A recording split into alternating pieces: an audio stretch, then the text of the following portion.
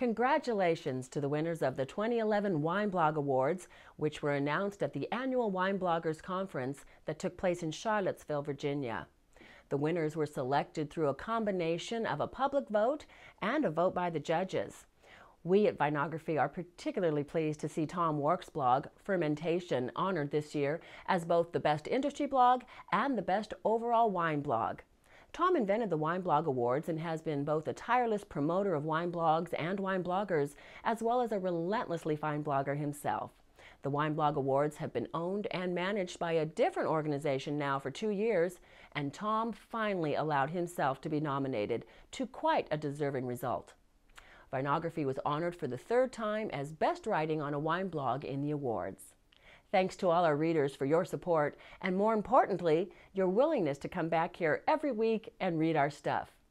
Cheers!